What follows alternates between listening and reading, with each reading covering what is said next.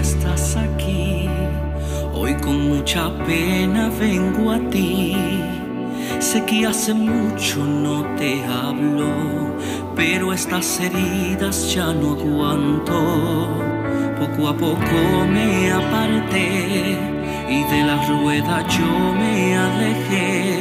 La soledad ha sido